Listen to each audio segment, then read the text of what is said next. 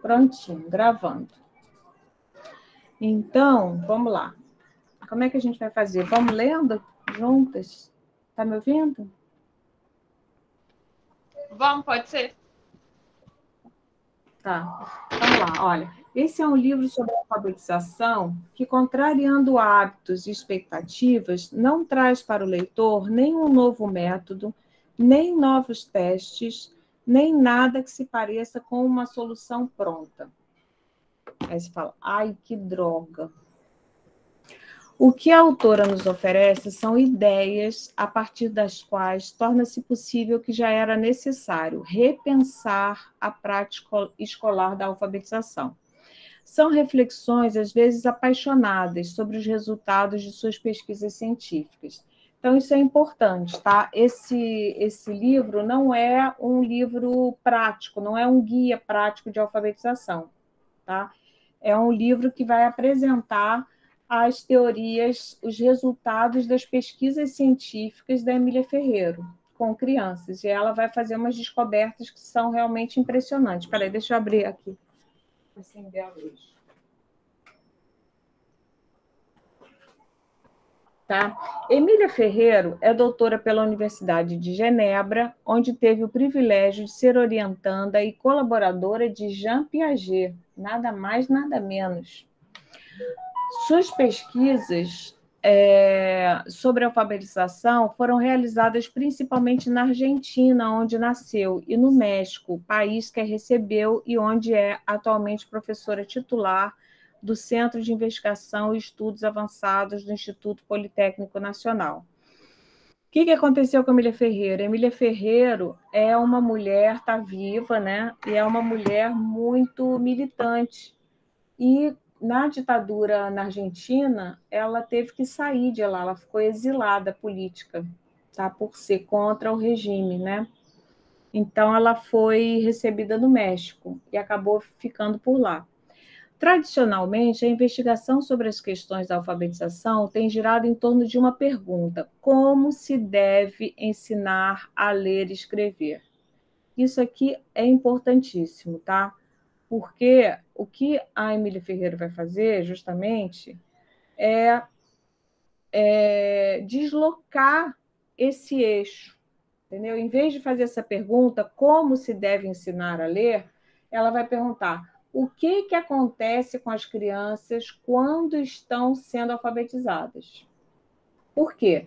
Porque ela é, tá, ela é discípula do Piaget. Então, através. Você já estudou Piaget na, na universidade, né? Na faculdade? Já. já. Então, então, o que, que o Piaget. Qual é a, a grande contribuição do Piaget?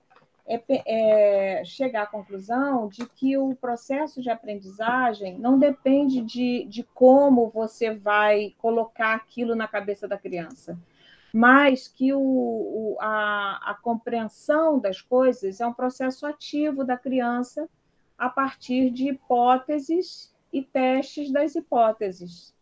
Tá? Então, o grande barato da Emília Ferreiro é aplicar esse pensamento do Piaget ao processo de alfabetização. Então, qual é a pergunta que ela vai se fazer? Ela vai pensar o seguinte: o que, que acontece com as crianças em relação a esse conhecimento que é o alfabeto? Porque você imagina só, a gente que é alfabetizada há muito tempo, a gente não tem a lembrança, talvez você tenha, né? De quando a gente não era alfabetizado. Mas quando a gente não era alfabetizado, você se lembra alguma coisa? não. Eu me lembro de uma coisa que eu queria jogar o banco imobiliário e a minha irmã dizia que eu não podia porque eu não sabia ler. E tinha as cartinhas, e eu falava assim: não, mas eu estou vendo o desenho, eu entendo o que, que tem que fazer, né? Porque tem o desenho também, mas tinha uma coisa lá, tinha umas letras que eu não conseguia ler, entendeu?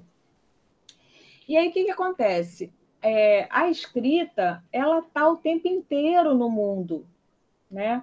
As crianças, mesmo antes da escola decidir que elas vão ser alfabetizadas, né? As crianças estão vendo letras, estão vendo letras. E a questão é o que, que elas pensam dessas letras? Né? E isso foi a pesquisa da Emília Ferreiro. E aí ela descobriu coisas super interessantes, que são as hipóteses que as crianças têm sobre como que o sistema alfabético funciona. Porque o sistema alfabético é um sistema de representação, né? Mas ele representa o quê? Isso é uma coisa também interessante, porque você sabe que tem outros sistemas de escrita no mundo, né? Já pensou nisso? Sim. Por exemplo, o chinês, o japonês, agora a gente viu nas Olimpíadas, né? Então, é, é um outro sistema. Então, tem sistemas que, por exemplo, cada, cada desenho daquele, que a gente vai chamar de caractere, cada, uma, cada letra na nossa, no nosso sistema alfabético, a gente pode chamar também de caractere. Né? Cada caractere, no nosso caso, é uma letra, e cada letra representa o quê? O que, que as letras representam? Hein, Eduarda? representam um pedacinho mínimo do som. Na verdade, não representa o som, representa um fonema, né? O é, os, os, né? Tá? Representa o som das, das. É, então, assim, é uma coisa muito abstrata para uma criança que, quando está se alfabetizando, está na fase pré-operatória, segundo os estágios do, do Piaget tá? Então, a última coisa que ela vai pensar é que as letras representam pedacinhos de som. É a última coisa que ela vai pensar. Normalmente, as crianças pensam que a escrita representa as coisas e não o som das coisas. Entendeu? Por isso que tem aquela coisa fase nominalista, né? Que elas vão achar, por exemplo, que a formiga tem que ser escrita com poucas letras. E o elefante tem que ser escrito com muita letra. Por quê? Qual é a hipótese dela? A hipótese dela, da criança, é que a escrita representa a própria coisa e não o som da coisa. Ou seja, o, o, o, doido é que a nossa, o nosso sistema de representação, né, a escrita que a gente usa, o sistema alfabético, ele representa é, a língua falada. Né? Ele representa a, a, oralização das coisas, que já é uma representação. Então, ele, ele é a representação da representação. Está entendendo isso? Porque quando eu digo, por exemplo, assim, é, olha só, isso aqui é um celular, tá? Então, a gente tem que estudar um pouquinho de semiótica para entender isso. O que é semiótica? Essa ciência que fala das representações. É, aqui está o celular. Se eu escrevo, se eu falo celular, tá? O celular pode não estar aqui. Eu falo, Maria Eduarda, pega para mim o celular, por favor. celular apareceu. Mas eu posso me referir a ele sem ele estar aqui. Então, quando eu falo, me pega aquele celular ali para mim, quando eu falo o celular, eu não eu, não está saindo o celular da minha boca né? Está saindo o quê? Uma representação sonora do celular. Está no lugar do celular, a palavra está no lugar do celular, até que o celular chega.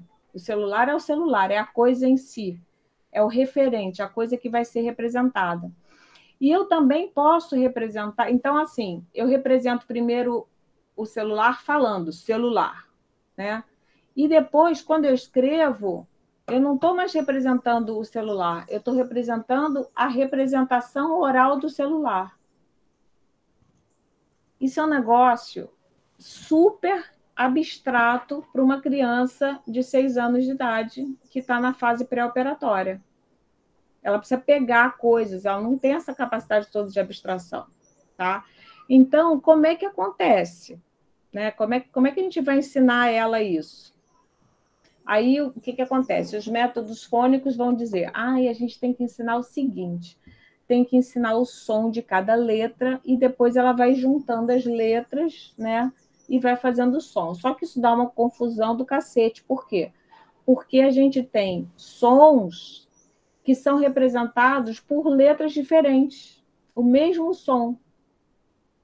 Sim. Por, né? Por exemplo, esse som pode ser escrito como? Com S e com Z. Com Z, não.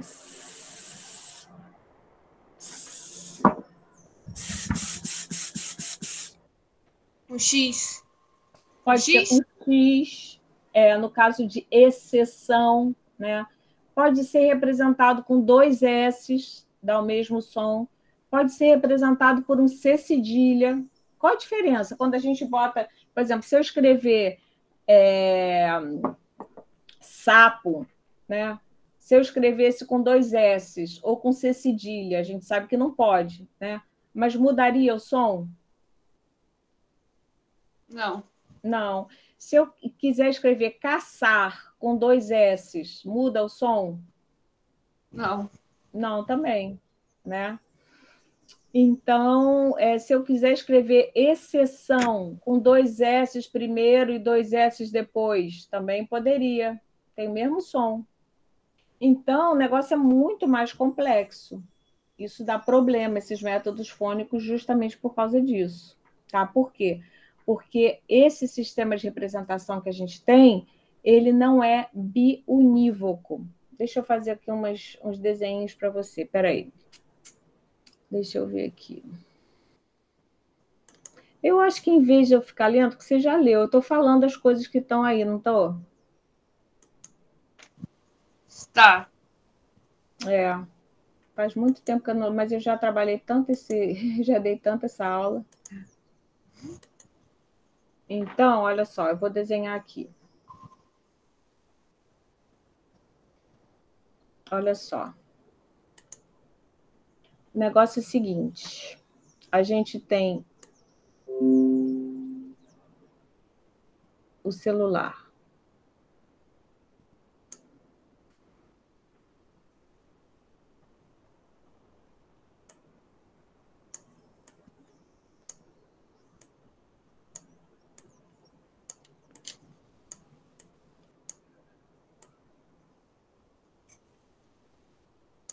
Digamos, tá? É, então, a gente vai chamar o celular de referente.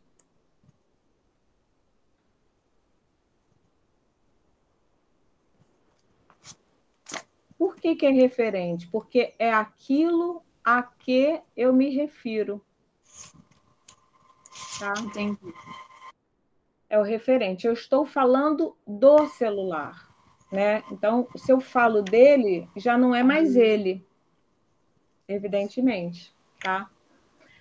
É, então, referente é a coisa.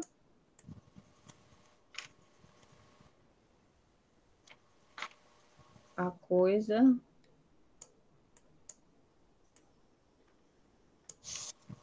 A ser. Re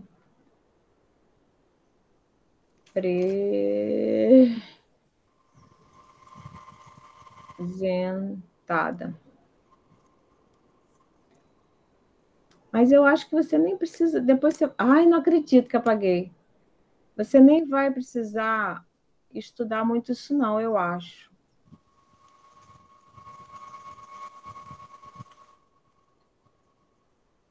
Representar. Dá.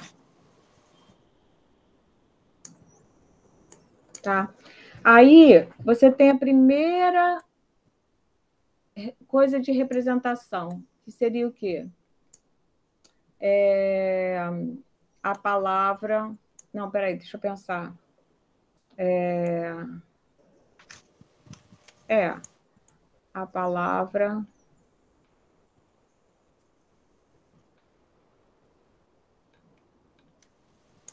Oral oralizada.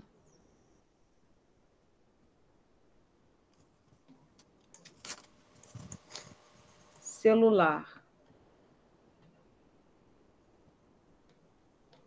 Tá, vou botar aqui entre, entre aspas, como se ela estivesse sendo falada, né? Ela foi falada, celular, tá? Aí depois eu tenho uma outra representação que é é, então, aqui, primeira.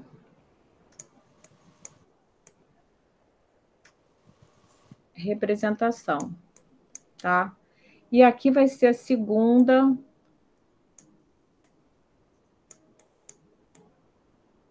representação, que eu vou representar essa palavra falada em escrita. Então, assim vai ser a palavra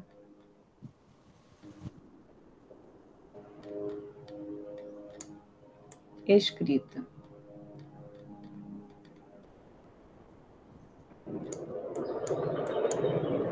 Que vai ser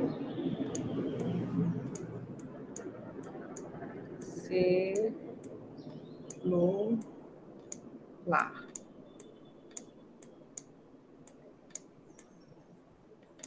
Tá?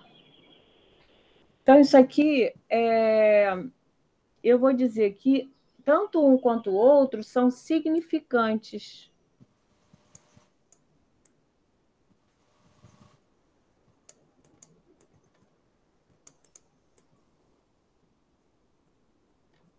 Né? Quem é o significante?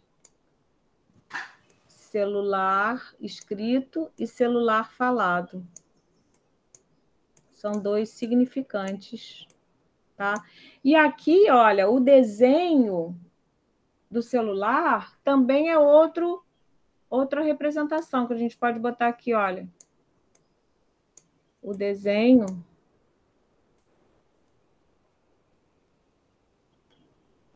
é outra coisa que significa celular também. Também é um significante. É alguma coisa que está no lugar do celular, né? Esse desenho que a gente fez aqui, olha, né, que fez aqui, ele, ele não é o celular, ele é uma representação do celular já, né?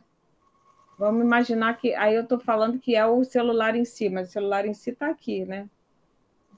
Na verdade, olha só, esse celular que você está vendo aí já é um significante também, porque é uma representação do celular que está aqui, que está bem longe de você, na verdade né? E ele foi representado através da, do vídeo.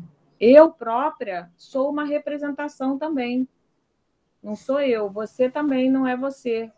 Essa que é, que é a, a interessante dessa coisa da, da, do encontro virtual, tá? Então, olha lá, a crença implícita era de que o processo de alfabetização como começava e acabava entre as quatro paredes da sala de aula e que a aplicação correta do método adequado garantia ao professor o controle do processo de alfabetização dos alunos. Ou seja, a ideia de que a criança só iniciaria o processo de alfabetização quando o professor decidisse, né? Não, agora está na hora, tipo assim, a mesma coisa acontece com a questão do sexo, né? De como nascem os bebês, né? É, tem pais que dizem assim: ai, quando será que vamos contar para os nossos filhos, para a nossa filha? Será que já está na hora de contar para ela como nascem os bebês? Mas, na verdade, os pais não têm menor controle sobre isso. Cada vez tem menos até, né? Porque Sim. De repente, o pai decide contar para a criança e a criança escuta e fala assim: aham, cê... ah, é mesmo? Não era cegonha? Oh! Né? E ela já está sabendo há um tempão por outras maneiras, porque ela já. Né? Então, assim, qual, qual que é a graça do negócio do Piaget? O que, que o Piaget diz? Quando você tem um objeto desconhecido, tá? digamos, é... como fazer, como usar o meeting por exemplo, tá? Isso é um objeto de conhecimento. Para mim, isso ainda é um objeto de conhecimento. Como controlar todas as funções do Meet? Eu não conheço, tá? Então, é, eu tive que aprender como gravar uma, uma chamada, né, tal. Por que, que, eu, por que, que eu fiz isso? Porque eu usei a minha, o meu, a minha capacidade cognitiva. O que, que é cognitivo? É de conhecer, né? Cognição significa conhecer. Então, eu usei a minha capacidade cognitiva motivada pelo interesse que eu tinha de dar aula e usar essa ferramenta, tá?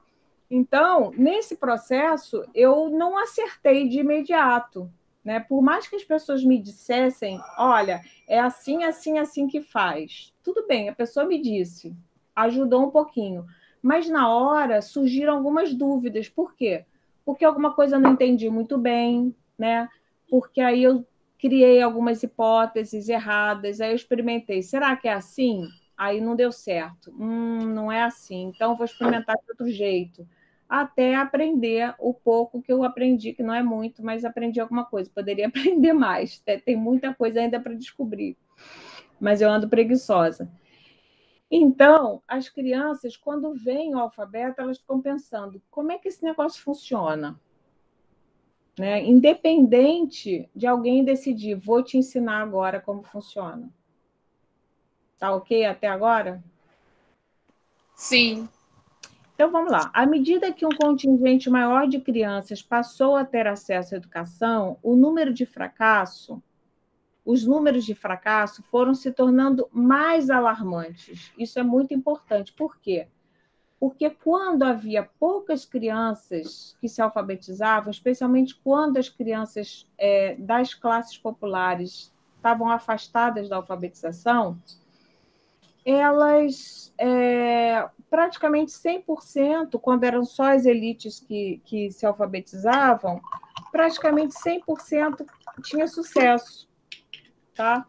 Aí, na medida em que a alfabetização foi se democratizando e mais crianças foram é, aprendendo, porque interessava ao capitalismo, etc. e tal, que mais gente tivesse alfabetizada, ah, ah, ah, é, começou a ter mais fracasso. Tá? Aí tem as teorias sobre esse fracasso.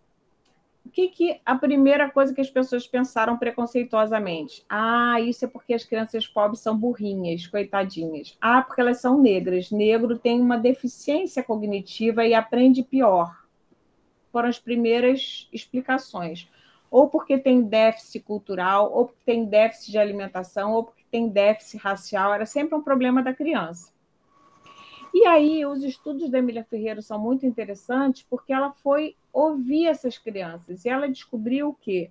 Basicamente, o que ela descobriu é que as crianças ricas é, não é que elas fossem mais inteligentes, é que elas viviam num ambiente alfabetizador elas tinham convívio com pessoas alfabetizadas, né?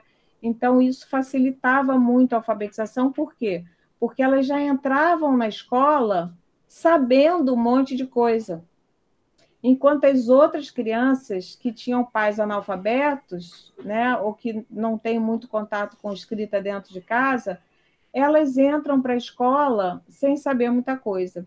O que ela percebeu em relação a essa diferença das crianças, dependendo do meio que elas estavam, é que é, as crianças das camadas médias e da elite chegava, chegam nas classes de alfabetização sabendo que a escrita representa a fala. E as crianças das classes trabalhadoras não chegam na alfabetização sem saber o que, que a escrita representa.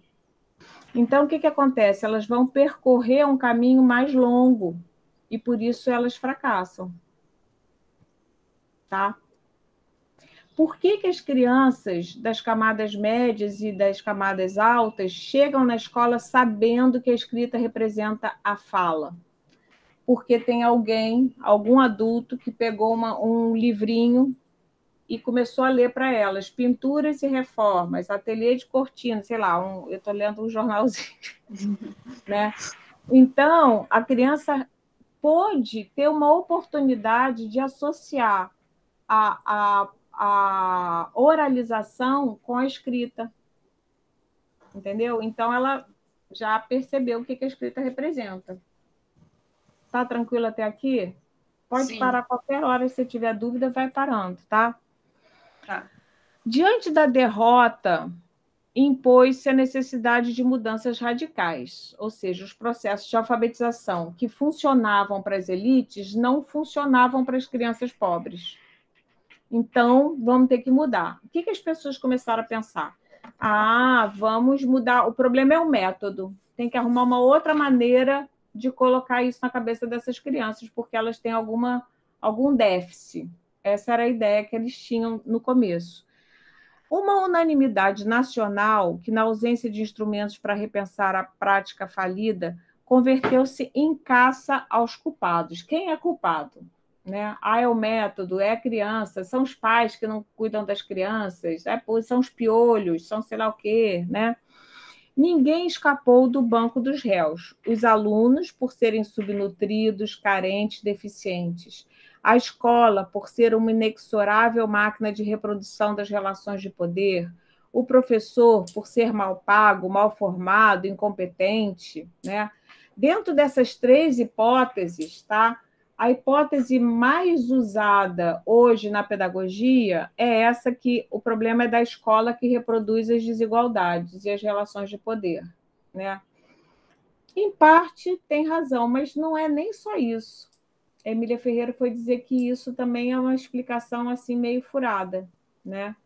Quer dizer, é de certa forma isso porque não reconhece as diferenças das crianças, mas o problema é esse que eu estava te falando, né? O problema é que as crianças chegam com níveis diferentes de conhecimento em relação ao sistema alfabético na escola. Essa é a principal razão, e isso foi que a Emília Ferreira descobriu. Nesse momento, o círculo parece ter se fechado e tudo indica que as contradições alcançaram um nível realmente desestabilizador. Como diz Emília Ferreiro, em alguns momentos da história, faz falta uma revolução conceitual. Acreditamos ter chegado o momento de fazê-la a respeito da alfabetização. Entendeu isso aqui? O que, que, essa, o que, que essa essa revolução conceitual? É o que os, os historiadores da ciência chamam de, de é, revolução copernicana ou é, não, paradigma não estava falando é aquela palavra que eu gosto, aquela expressão que eu gosto do é, quebra de não, não é de paradigma de epistemológico, como é que é? Ah, sei lá, esqueci. Mas, enfim, é isso, tá? Então, por exemplo, quando a gente tem, tem alguns exemplos dessas rupturas na história da, do conhecimento da humanidade, né? Um bem famoso é a, a Revolução de, de Copérnico, né? Quando se descobriu que a Terra girava em torno do Sol e não ao contrário. Tá? Isso é uma revolução, né? Porque antes as pessoas achavam que a Terra era chata, né? Que a Terra não, não, não era redonda, e aí alguém disse assim: não, olha, não é assim. Quando tem essas, essas são, são cortes epistemológicos, o nome disso, tá? É um corte epistemológico. Então, dali não tem mais como voltar à Terra plana, não, não tem mais. Não, não sei como é que as pessoas sustentam isso, né? porque já, já foi provado, comprovado cientificamente. O que não quer dizer que a gente não possa, no futuro, descobrir coisas que a gente não sabe ainda sobre o nosso planeta. Né? Se a gente é, melhorar as pesquisas, melhorar os aparelhos, pode ser que a gente descubra mais coisas. Mas até por enquanto não dá para voltar para trás, dá para ir para frente, né? dá para se surpreender mais com as coisas. Né? A gente está vendo aí esse caso da vacina, a, gente, a ciência tem isso que é legal, né? ela vai evoluindo. Então, vamos lá. Então, ela, a, a Emília Ferreiro, ela mesma, é uma coisa impressionante, né?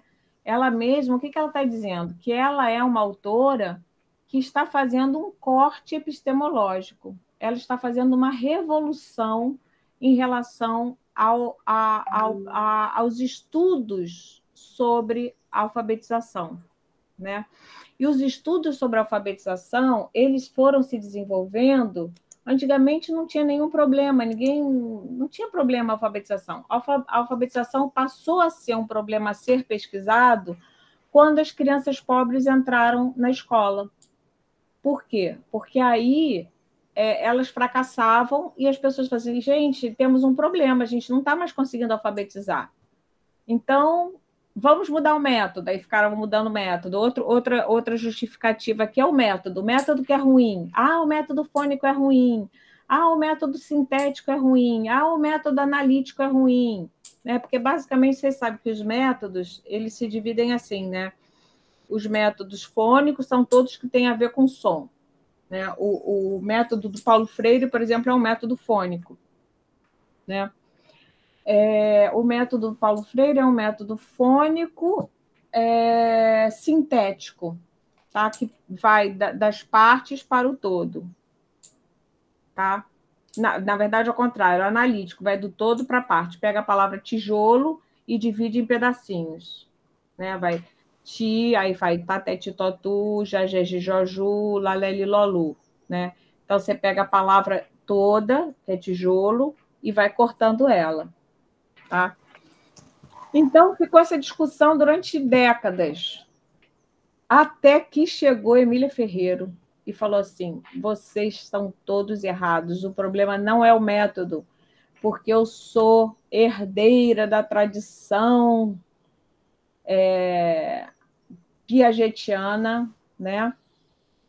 E eu entendo que as coisas não acontecem desse jeito. A gente tem que saber o que, que as crianças pensam sobre a escrita alfabética antes da gente explicar para elas, né?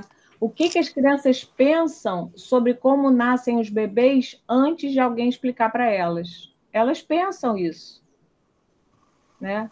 O Freud já explicou isso, que as crianças pensam, independente de qualquer coisa, ela é, uma, é a primeira, parece que é a primeira pesquisa científica assim que as crianças fazem.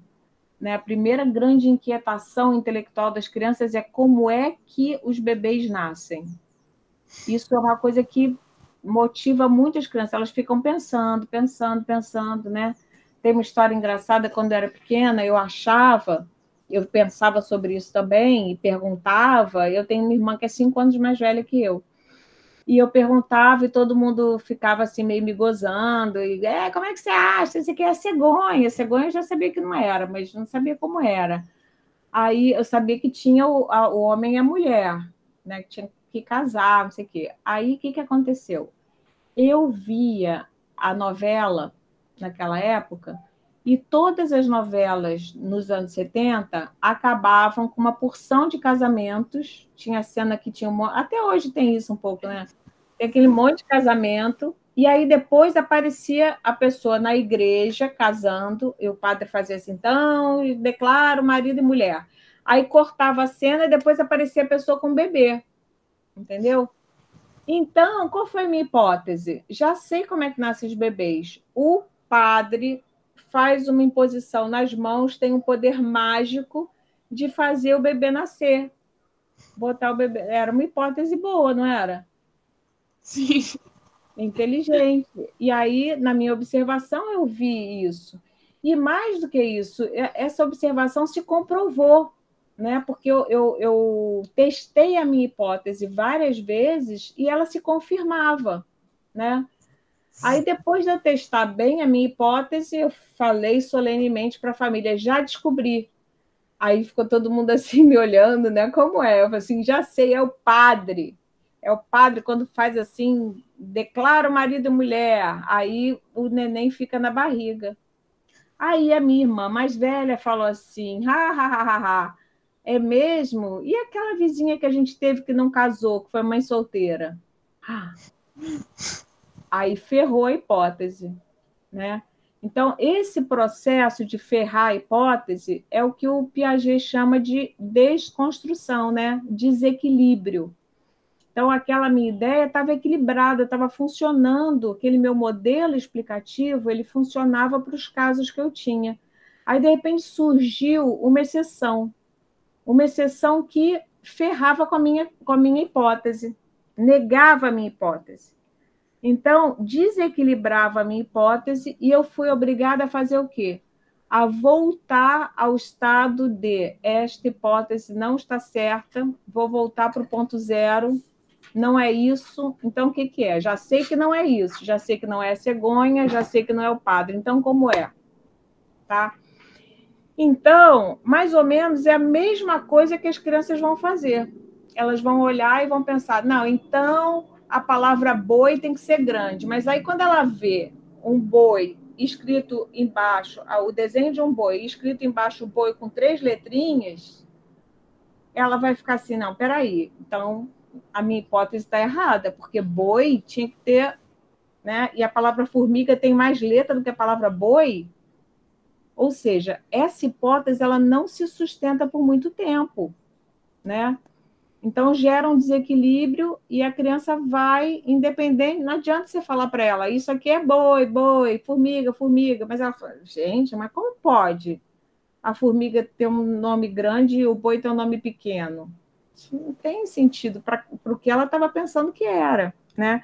E você sabe que não é fácil a gente abandonar as nossas hipóteses, né? Sim. Você acha fácil? Não. Quanto mais burro a gente é, mais difícil é abrir mão desse hipótese. Eu acho que inteligência tem a ver com a capacidade que a gente tem de abrir mão de hipóteses erradas. Verdade. Né? Burro é aquela pessoa que fica insistindo, insistindo, aí tentou gravar o Meet de um jeito. Eu, por exemplo, nessas coisas sou burríssima. Aí eu tento uma três vezes do mesmo jeito. Vai dar sempre o mesmo resultado, né? Claro, errado, né? Mas eu não consigo pensar uma outra coisa, entendeu? Eu não consigo me abrir, né? Isso, isso é uma burrice. É, não foi certamente obra do acaso que um avanço tão significativo na compreensão do processo de alfabetização, como a contribuição de Emília Ferreiro, tenha acontecido na América Latina. Né? Por que, que justamente na América Latina que esses estudos se desenvolveram? Porque é aqui que o fracasso escolar ultrapassou os limites de um problema educacional, onde os índices chegaram a níveis políticos e socialmente inaceitáveis né? Porque esse problema de por que, que as pessoas não se alfabetizam, na Europa isso nunca foi um problema, porque as pessoas se alfabetizavam fácil. Né? Aqui não se alfabetizavam por quê? Porque tem uma desigualdade enorme. As pesquisas de Emília Ferreiro e colaboradores romperam o imobilismo lamuriento e acusatório e deflagraram um esforço coletivo de busca de novos caminhos deslocando, isso aqui que é coisa muito importante, olha, deslocando a investigação do como se ensina para o como se aprende. Então, em vez de perguntar como eu devo ensinar, qual o melhor método para alfabetizar as crianças? Emília Ferreira propôs como é que as crianças aprendem? O que, que elas pensam sobre o alfabeto antes mesmo de alguém dizer alguma coisa sobre, sobre ele? né? Que a gente pensa. Antes de dar um beijo na boca, a gente pensa como é que é, o que, que acontece. Toda criança está olhando alguém se beijando e está vendo. E alguma pode até pensar, já sei como é que nascem os bebês, é com um beijo na boca. Pode ser que pense. Acho que eu mesma já pensei isso. Né? É sério, né? Então, acha nojento, sei lá. Emília Ferreira descobriu e descreveu, descreveu essa coisa que ela chama de psicogênese da língua escrita. Tá? Isso aí é uma palavrinha, uma expressão importante da gente aprender.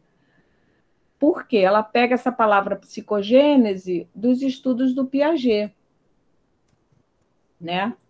E então ela vai querer entender como é a, a, a, como é que é esse processo de exploração de uma criança que não conhece o alfabeto, como é que ela.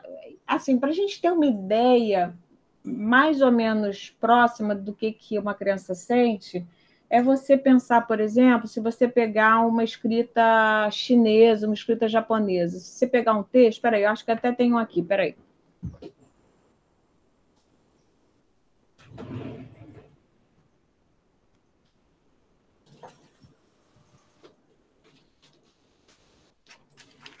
Olha só, tem um jornalzinho aqui. Olha que doido, ó. Tô vendo. Tá conseguindo ler alguma coisa? Não. Não. Tem alguma hipótese?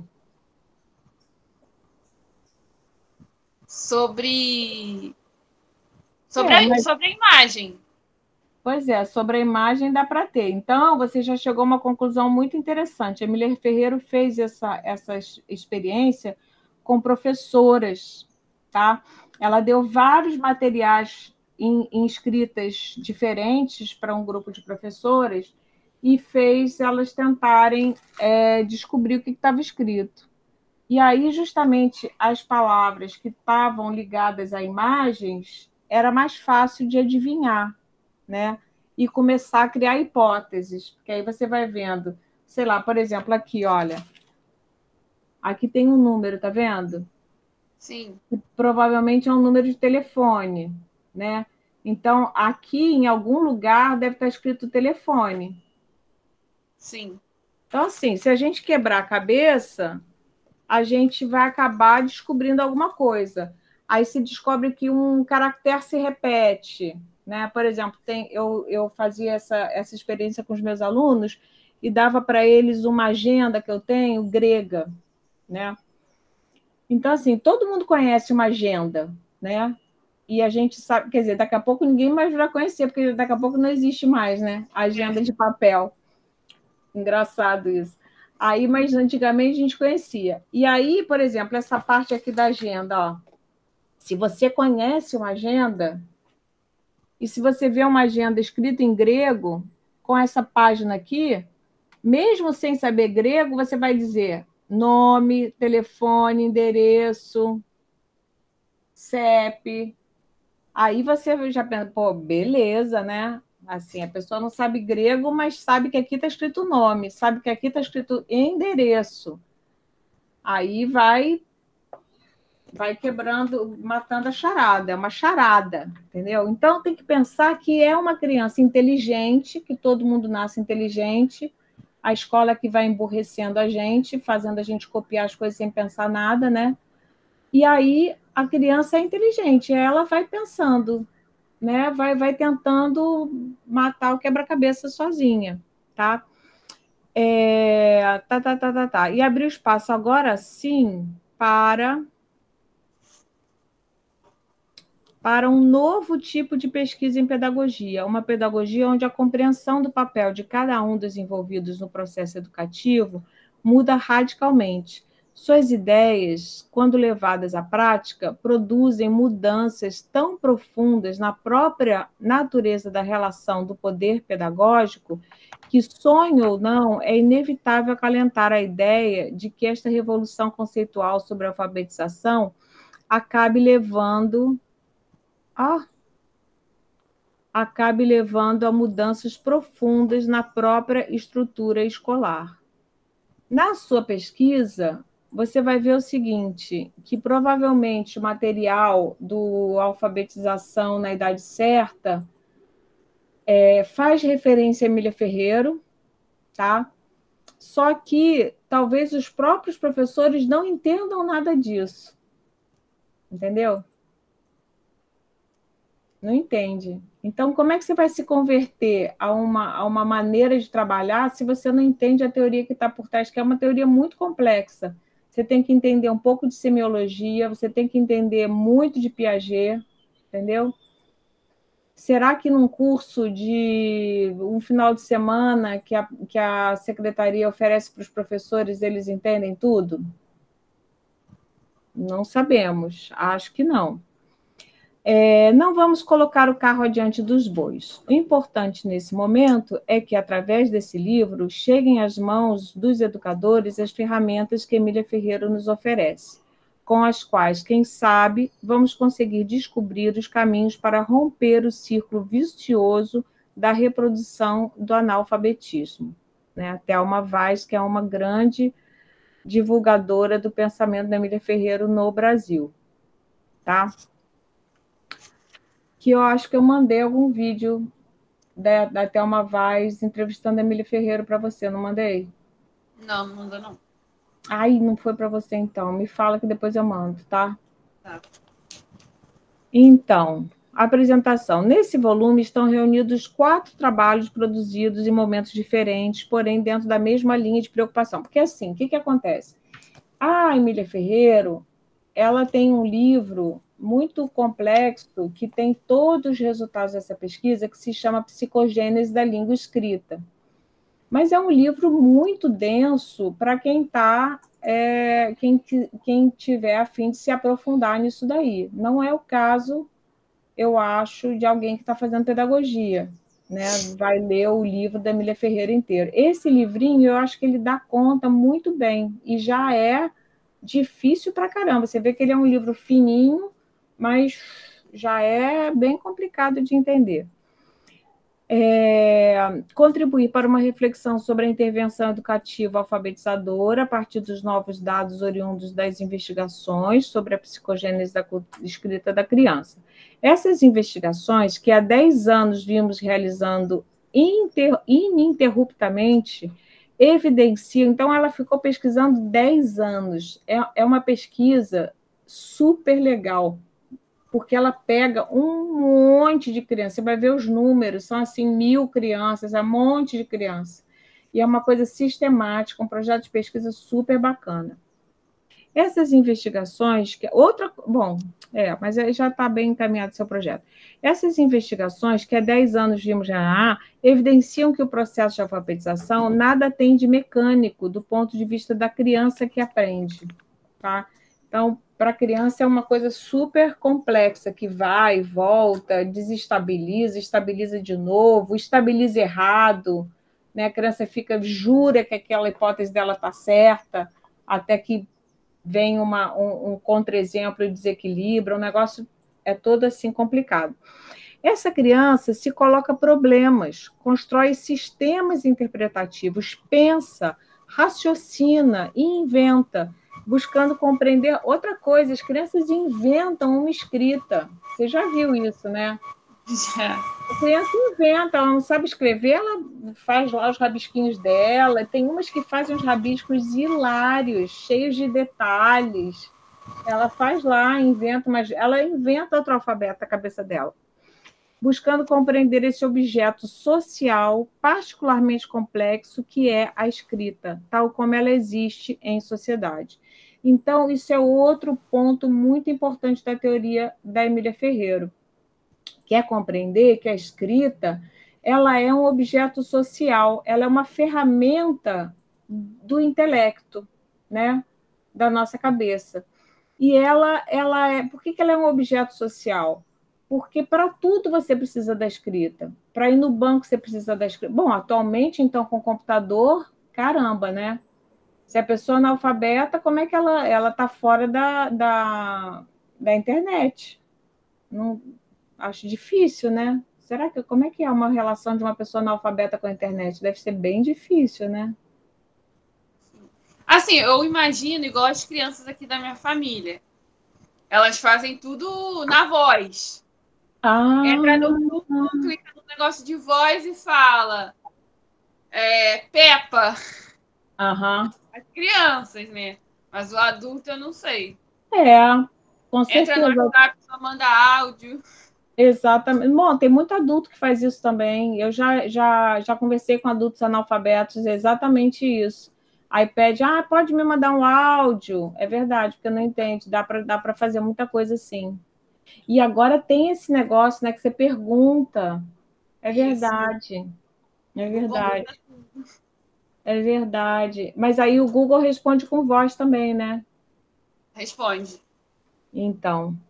Mas, enfim, de toda forma, dá para fazer algumas coisas, mas limita muito, né? Claro. Tem muita coisa que fica complicado de fazer. E por isso que as pessoas são trolhadas, né? porque elas não, justamente, elas não têm controle, a analfabeta na internet vai fazer o quê? Vai comprar um negócio no site errado, vai, vai dar o, o cartão, vai, vão roubar ele, essas coisas todas vão acontecer, né? Então, a escrita é um objeto social. E outra coisa, a nossa sociedade é uma sociedade grafocêntrica. Tudo na nossa sociedade gira em torno da escrita desde os documentos que a gente tem de, assim que você nasce, você ganha uma certidão de nascimento. Você morre, ganha uma certidão de óbito, né? E no meio, entre a certidão de nascimento e a certidão de óbito, é um monte de papel com letrinha. Papel com letrinha, papel com letrinha, casamento, identidade, escritura da casa, aluguel, cobrança, conta de luz, conta de gás. Nossa, então, É, então, o que, que acontece? Se a escrita é um objeto social, o que, que, que quer dizer isso? Quer dizer que ela tem uma representação social. Ela tem uma, um, uma, um valor social, né? Ela é importante para a sociedade, para, para os grupos sociais. Então, todo mundo quer aprender. Então, aquele exemplo que eu te falei da, do, de eu brincando de banco imobiliário, né? Por que, que eu queria aprender a ler? Porque eu queria jogar o jogo, né? Porque eu até jogava, mas a minha irmã inventava umas regras, eu não podia confirmar se ela estava me enganando ou não. E ela me enganava mesmo. Então eu falei, eu quero aprender essas regras urgentemente para brincar de banco imobiliário sem ser enganada. Né? Então, assim, é importante. Os dados aqui nos. Então, assim, de novo, essa coisa do. do, do, do peraí. Do objeto social. Isso é um aspecto importante, é uma mudança já no pensamento da Emília Ferreiro sobre os processos de alfabetização, porque antigamente é, e ainda acontece isso muito, as crianças são alfabetizadas sem que elas. Vou apagar aqui um pouquinho, porque a gente não está vendo isso aqui, está diminuindo aqui nossa. Sem que elas. É... sem ter um uso social, entendeu?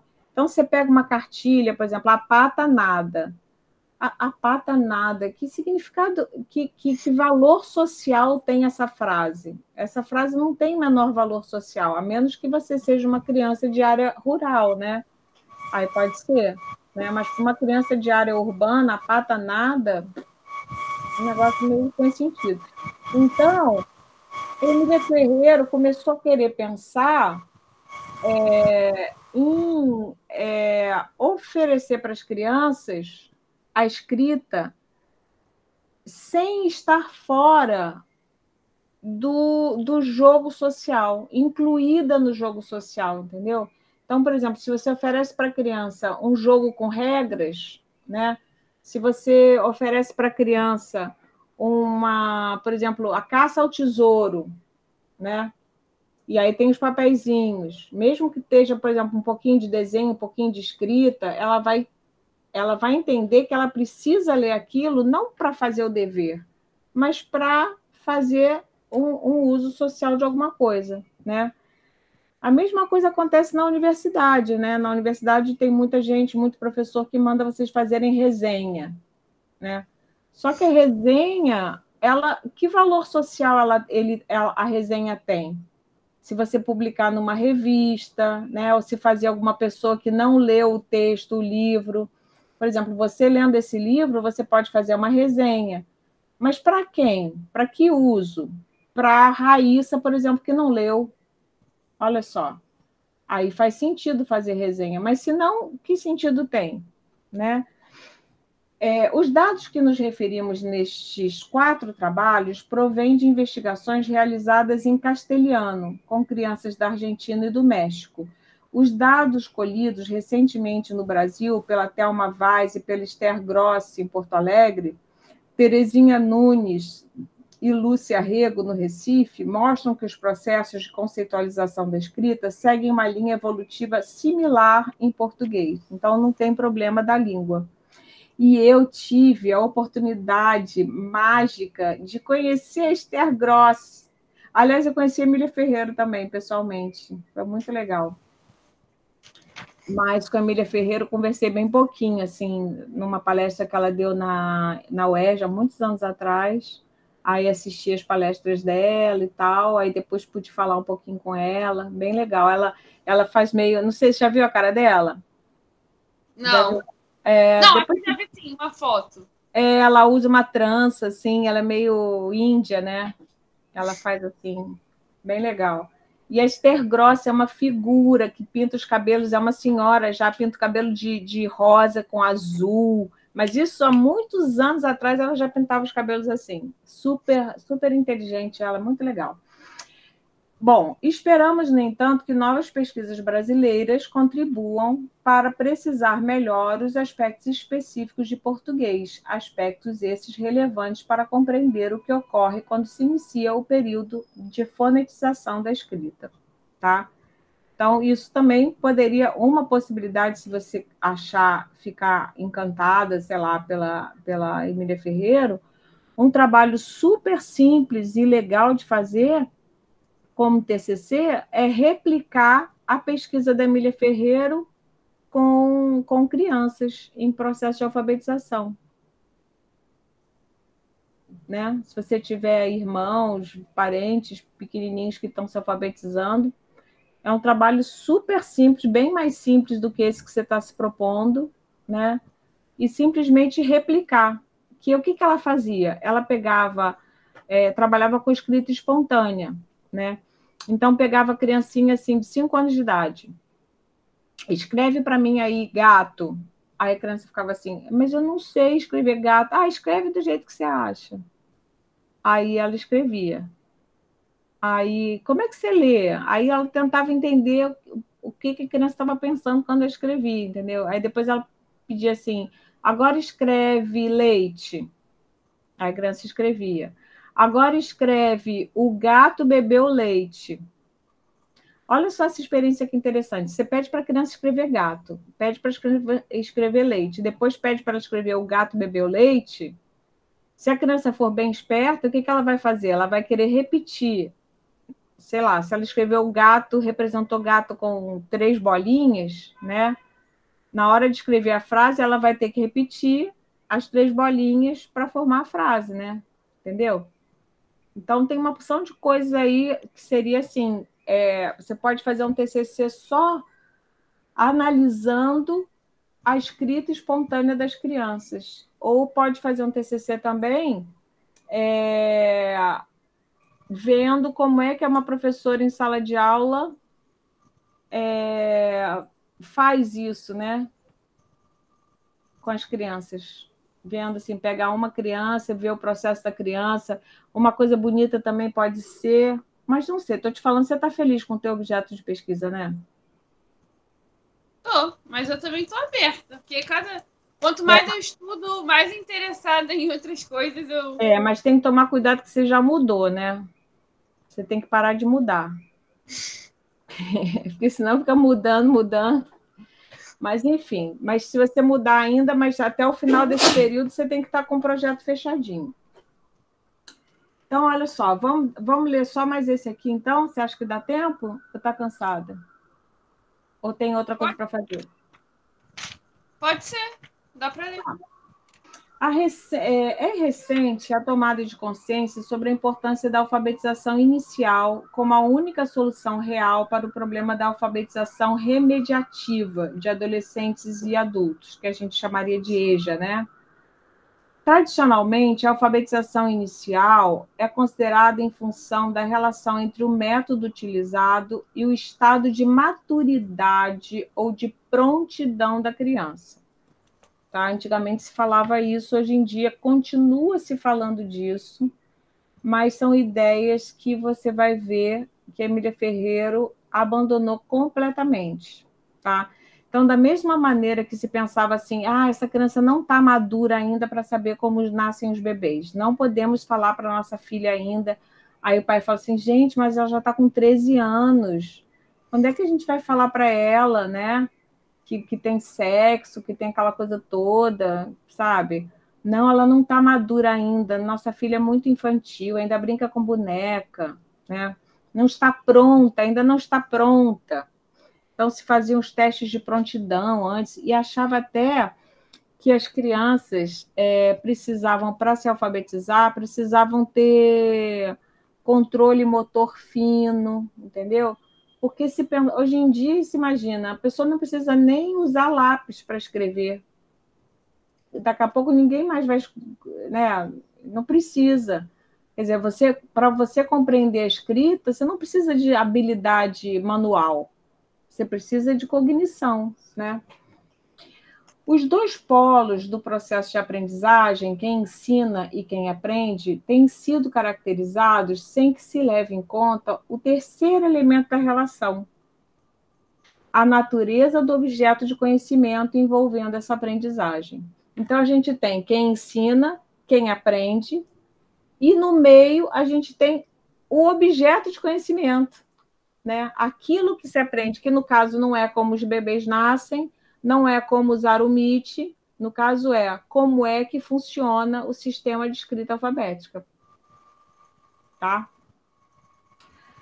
É, tentaremos demonstrar de que maneira este objeto de conhecimento, que é a escrita alfabética, intervém no processo, não como uma entidade única, mas como uma tríade, né?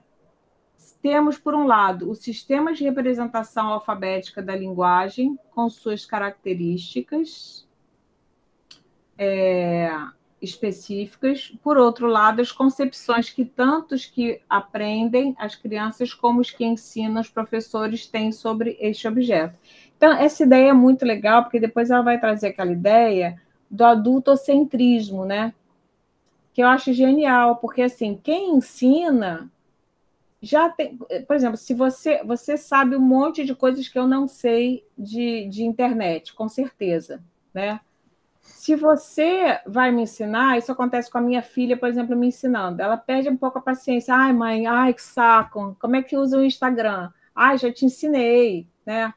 Essa falta de paciência acontece por quê? Porque ela está centrada, ela acha que a maneira dela ver o Instagram, que é uma pessoa jovem, que usa bastante tal, é, é universal, que todo mundo vê como ela. Mas eu sou outra pessoa. Aquilo para mim é um mistério. Entendeu? Para ela não é, para você também não é, mas para mim continua sendo mistério. Eu não sei, entrei há pouco tempo, não, não, não consigo usar o Instagram. Não, sei adicionar pessoas, não sei, não sei como é que funciona custei um pouco a entender como é que funcionava o Facebook, agora já ninguém mais usa Facebook. Já mudou tudo, né? Então, vamos lá. A escrita como sistema de representação. Aí tem a ver com aquele negocinho que a gente estava mostrando do celular, né? A escrita pode ser concebida de duas formas muito diferentes e, conforme o modo de considerá-la, as consequências pedagógicas mudam drasticamente. Então, a gente pode conceber a escrita de duas formas. A escrita pode ser considerada como uma representação da linguagem ou como um código de transcrição gráfica das unidades sonoras. Aí a gente pensa, caraca, não é a mesma coisa? Eu fiquei pensando nisso. Né? O que, que é isso? Que diferença é essa? Então, vamos voltar ao negócio da representação. Vamos voltar ao desenho da representação.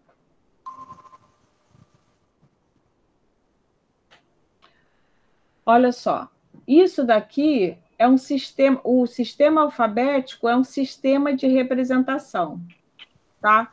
Se eu quiser usar, por exemplo, um código, código Morse, por exemplo, né? Ou escrita Braille, por exemplo, tá? Eu posso transformar isso aqui de tal forma que, por exemplo, o C vai ser igual a, digamos, uma bolinha. O E vai ser igual a um X, um asterisco. O L vai ser igual a. Vamos botar o quê? Um quadrado. O A vai ser igual a uma seta e o R vai ser igual a um triângulo, por exemplo. Tá? O que eu tenho aqui é um código. Qual é a característica do código? No código eu tenho dois conjuntos, tá? O conjunto das letras né? Vamos chamar esse conjunto aqui e um outro conjunto aqui. De tal forma que existe uma relação biunívoca entre o elemento de um conjunto com o elemento do outro conjunto. Tá? Então, todo C vai ser um pontinho. Então, aquele problema que a gente tem na escrita, na relação dos fonemas com os grafemas, não existe no código. Tá? Peraí, deixa eu te mostrar aqui, olha. Deixa eu abrir um novo aqui para te mostrar.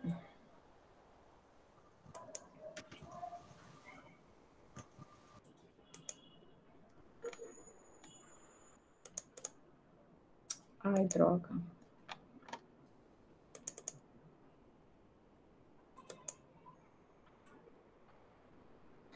Então, por exemplo, olha só, é, código. Não, vou botar sistema de representação.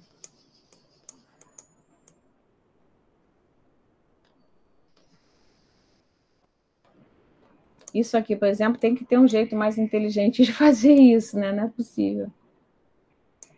Eu sei que pode. Eu gosto de escrever.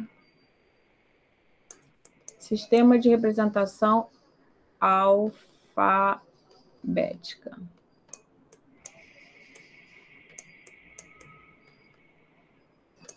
Tá? Então, a gente tem, por exemplo, aqui, ó, o conjunto dos fonemas.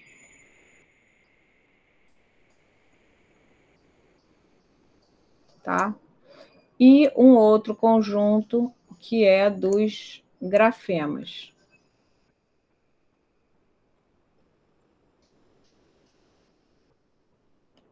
Tá? Então, por exemplo, como é que a gente representa os fonemas? Se você olhar no, no dicionário, tem um, uma maneira de representar, que é uma coisa mais ou menos assim, ó, por exemplo, tá? Esse som S, eu não sei representar todos os fonemas, não, tá? Mas esse som S pode ser representado por C cedilha, pode ser representado por dois S, pode ser representado por um S, pode ser representado por um X, né? Que o X às vezes tem som de S também pode ser representado por C. Olha que loucura.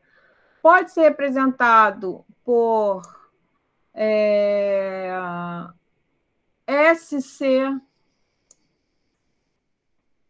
Tudo isso vai ter o mesmo som. Entendeu? Então, não é, não é de jeito nenhum código. Como é que é um código? Um código, por definição, ele tem que ser um negócio. Imagina se você recebe um, um, um código, você está na guerra, né? Aí você recebe uma mensagem cifrada. E se não é um código, como é que você vai descobrir o que está escrito ali? Nunca, tá?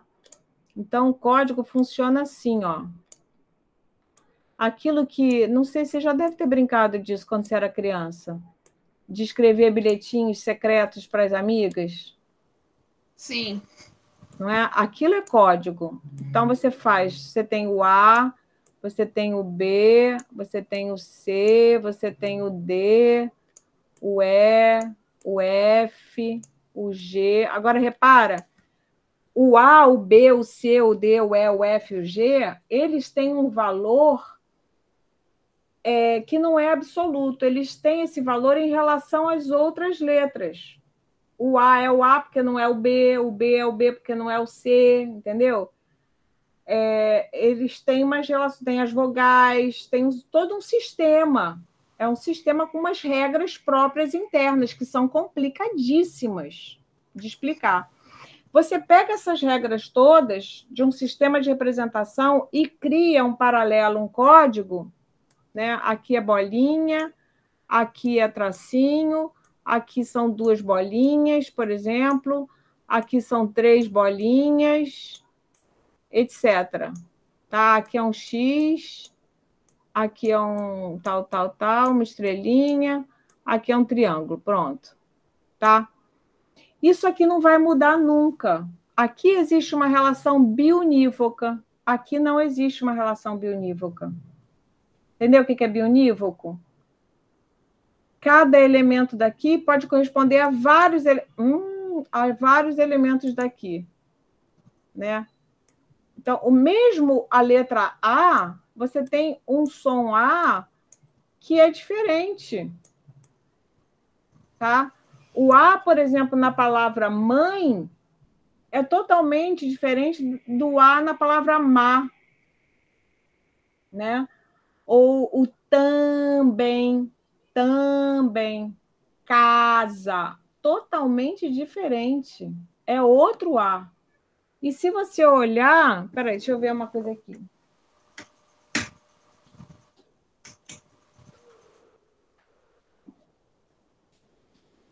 Ó, se você pegar um dicionário, qualquer dicionário tem isso. Deixa eu ver se eu acho aqui. O dicionário tem uma coisa de fonética que vai mostrar.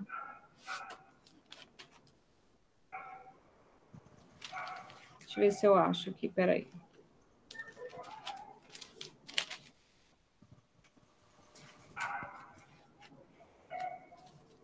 Ah, isso aqui eu não estou achando, peraí.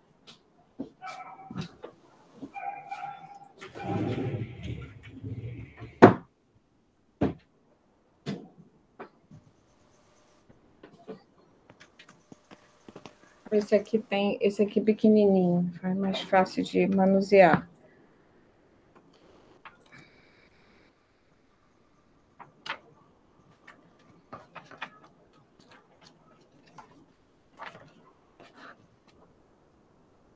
Acredito que não vai ter, gente.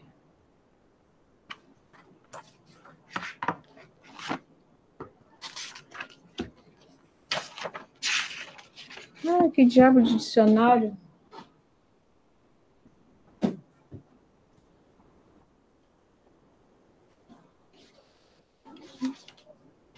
Não, achando... não sei se você já reparou isso nos dicionários.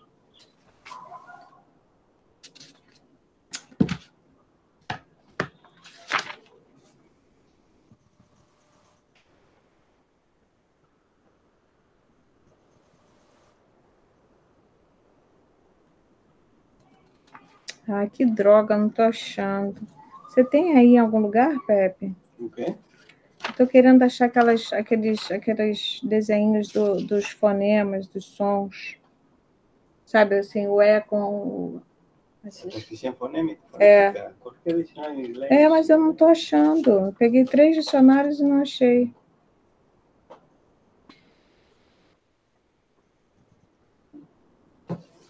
Peraí, como é que é o nome do negócio? Transcrição fonética. É melhor pegar na internet. É aqueles que tem no, no dicionário de língua estrangeira? É. Eu acho que é IPA. IFA, IFA. Opa, então você já sabe, pronto. Faz lá. Eu acho que é esse o nome. Aqui tem. Que é... Eu sei que nos de língua estrangeira ah. tem os símbolos universal, internacional. Exatamente, exatamente. Tá? Exatamente isso, tá? Tem os desenhinhos, uma representação de como é que é, tá? Então, cada, cada A, para a letra A, tem um monte de fonemas relacionados. Para uma O A vai ter um monte. Porque o A, dependendo da palavra, dependendo do lugar. Então, olha só, o que, que um sistema tem? O que que, o que, por que, que um sistema é um sistema? Um sistema é um sistema. Pensa, por exemplo, numa família, tá? Uma família é uma família porque tem a Maria Eduarda, tem o pai da Maria Eduarda, a mãe da Maria Eduarda, o irmão da Maria Eduarda, e como é que cada um, o que, que um representa para o outro. Pensa na mesa. Quando vocês se sentam na mesa, não tem os lugares que cada um senta? Mais ou menos? Sim. Tá? Esse lugar que cada pessoa ocupa dentro da família, ele é mais ou menos estável e tem a ver com aquele sistema familiar. Então, você, por exemplo, na sua família, pode ser a mais velha, a filha mais velha, né? Só que você, na sua escola, pode ser a, a aluna mais nova. Está entendendo? Então, o sistema tem a ver com as relações entre os elementos. Tá? Então, o que importa não são os elementos para o sistema de representação, mas a relação que os elementos têm com, com, com, com cada um. Isso aí é que vai fazer a gente poder escrever. Isso é complexo demais, né? Você saber que você tem consoantes, tem vogais, que, que a sílaba canônica, que a gente chama, se faz com uma consoante e uma vogal, né? A minha filha, por exemplo, quando estava aprendendo a ler, a hipótese dela é que se escrevia sempre com sílabas canônicas, que a gente chama. Que é sempre uma consoante e uma vogal, uma consoante e uma vogal, uma consoante e uma vogal. Então, toda vez que isso não acontecia na palavra, ela ignorava e continuava escrevendo assim. Aí, o que ela fazia? Por exemplo, sistema, né? Aqui, olha, eu tenho essa primeira vogal eu tenho, eu tenho três sílabas na palavra sistema, né? Na primeira sílaba, eu não tenho uma sílaba canônica, né? Porque eu tenho uma consoante, uma vogal e uma consoante. Aí a segunda sílaba é uma sílaba canônica, uma consoante e uma vogal. Aqui também, uma consoante e uma vogal. Aí o que, que a minha filha fazia? Cortava o S, ignorava o S, porque ela dizia tá errado né?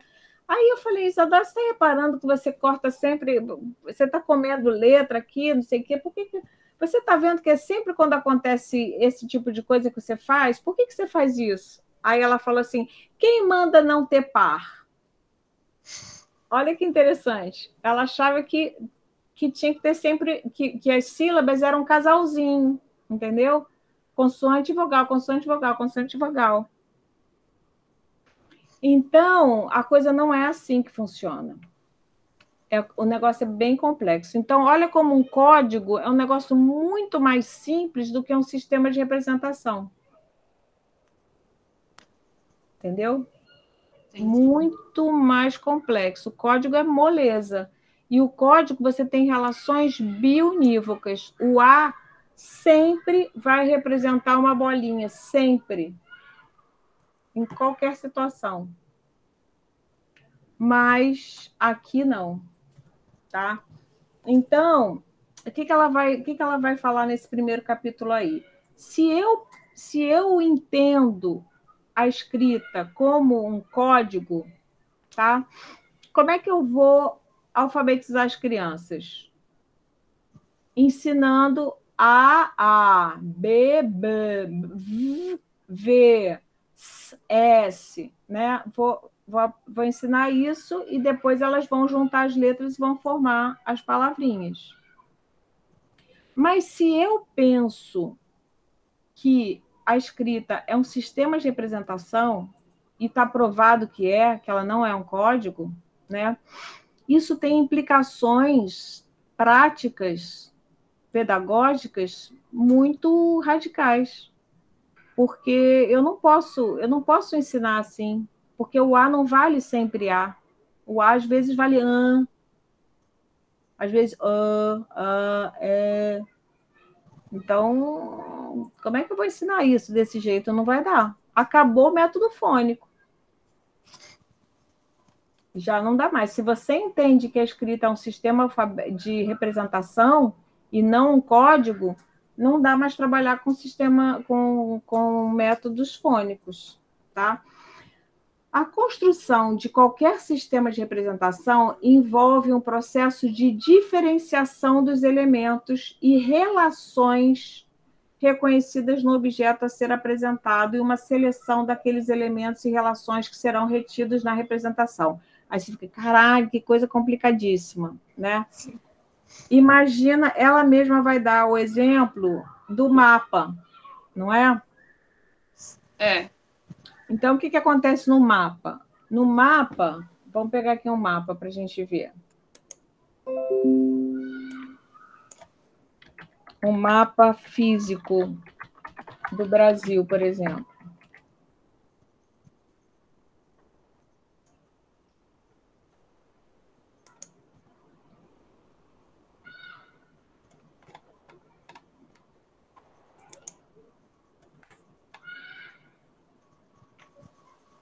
Então,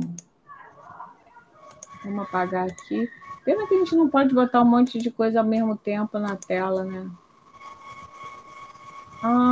Aqui eu não sei como é que eu faço para botar. Ah, peraí, já sei. Vou copiar a imagem. Deve ter um jeito mais prático de fazer isso.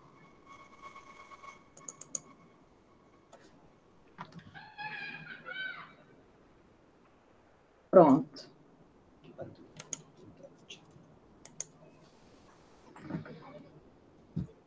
É muito, mas é muito legal esse negócio, não é? Tá gostando? Tô. É legal pra caramba. Então, olha só, por exemplo, aqui. Nesse mapa, é o que, que a gente vê? Essas distâncias né, do rio, da curva e tal. Aqui, por exemplo, a gente não, não é o rio Amazonas que está aqui. É uma representação do rio Amazonas não é? Então, o que, que eu tô, o que, que, o que, que é igual? Os ângulos são iguais, mas as distâncias são iguais? Não. Não, porque senão no, aqui tem pouco, poucos centímetros, e o, o Rio Amazonas tem quilômetros, né? É, aqui as alturas são representadas por cores, por exemplo, tá? Então, o que ela vai dizer? Olha só, uma representação X não é igual à realidade R que representa, ou que a gente estava chamando de referente, né? O X nunca é a realidade, né? A representação do, do o desenho do celular não é o celular.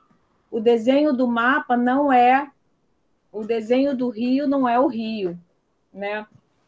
Portanto, se um sistema X linha, ou seja, uma outra forma de representar, é uma representação adequada de certa realidade R, reúne duas condições aparentemente contraditórias.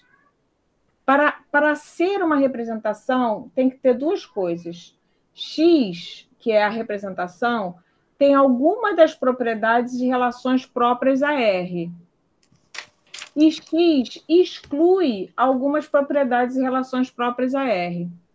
Então, em relação ao mapa, vamos pensar aí, quais são as propriedades, pensando que o nosso R é o Brasil, é o território brasileiro, né? E pensando que o nosso X é o mapa, tá certo? O mapa é o nosso X, né? Ou seja, o mapa é a representação do território nacional, né? É, o que que, quais são as propriedades e relações que são é, que estão incluídas aqui e quais que estão excluídas?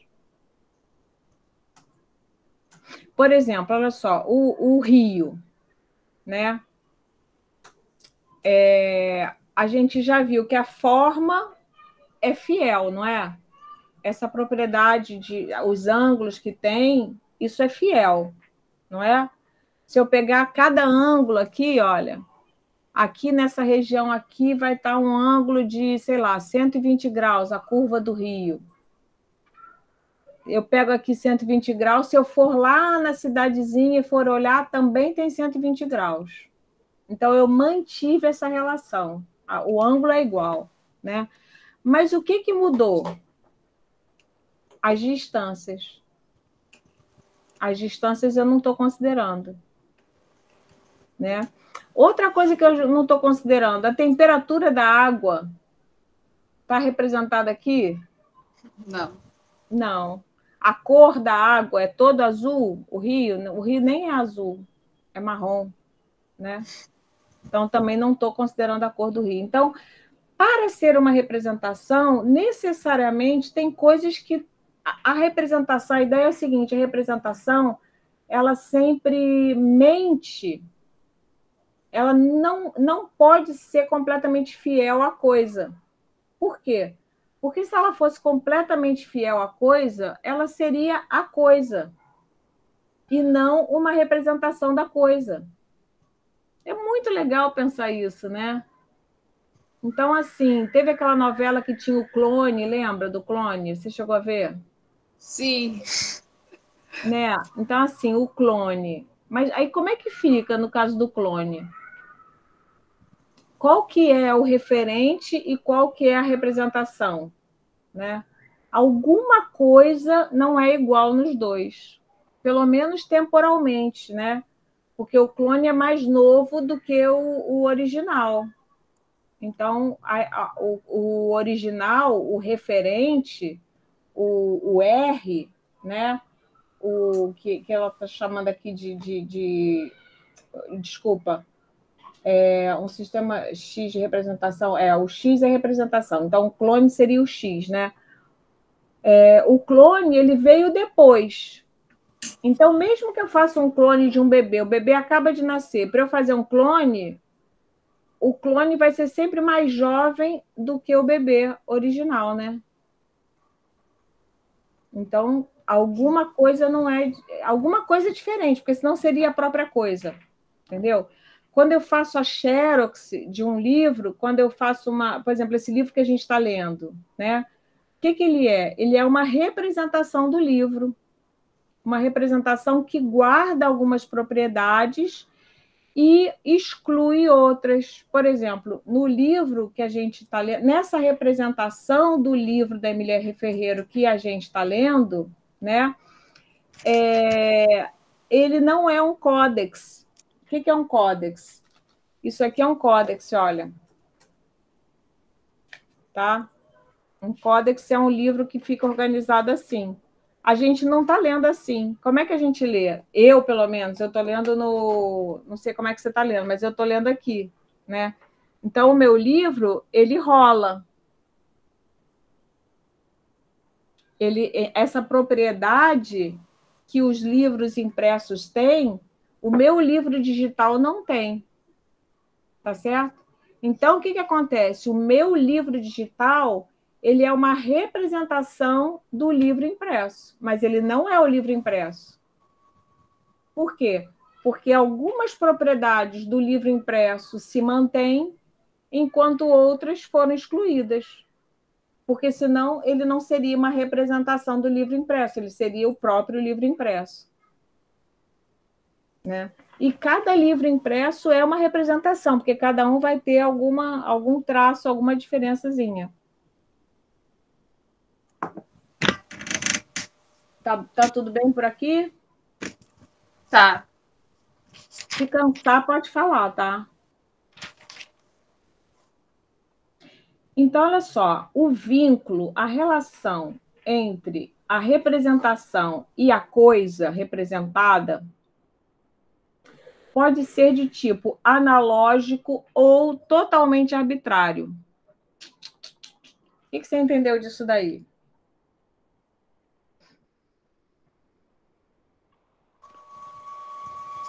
Você chegou a ler eu essa parte? eu acho que arbitrário é algo que é diferente. Ah. E analógico, eu não sei se está certo, mas acho que é algo que faz uma referência. Que tem uma relação, né? Tem uma. Tem uma é, arbitrário é que podia ser uma coisa. Por exemplo, aquele, aquele código que a gente criou, no, no, na figurinha anterior é completamente arbitrário, porque eu dizer que A é uma bolinha e que C são duas bolinhas, eu podia arbitrar, né? Eu podia convencionar, arbitrar é convencionar, né? A gente combina, vamos combinar que o A vai ser uma bolinha e o C vão ser duas bolinhas? Beleza, tá? Vamos combinar, no caso do mapa, que toda a parte hidrográfica vai ser azul e as coisas que estão numa altura baixa vão ser verdes e, as, e os planaltos vão ser marrom? Ah, beleza. Mas eu não podia combinar que todo, toda a parte hidrográfica fosse verde ou vermelha? Poderia, não é?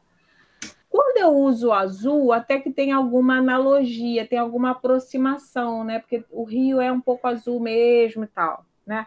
Mas no caso, você vê, no caso da, das cores da altitude, por que, que a planície é verde e o planalto é marrom? Isso é completamente arbitrário. Entendeu? Podia ser a planície, podia ser pintadinha de bolinha e o planalto podia ser verde-limão. Tanto faz, entendeu? Então, por exemplo, o relógio, esse relógio, a gente tem o relógio digital e o relógio analógico, né? O relógio analógico é aquele dos ponteiros. Quer ver? Peraí.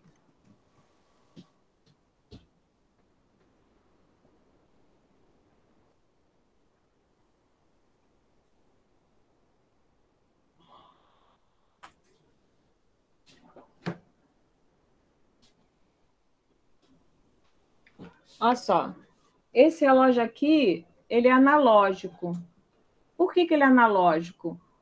Porque é, o tempo, o, o, o, percurso que, o, que o, o trajeto que os ponteiros fazem tem uma analogia com o ciclo do tempo. Né? Diferente dos números. Os números puros 10 e 47 é completamente arbitrário. Podia escrever três bolinhas e quatro bolinhas, entendeu?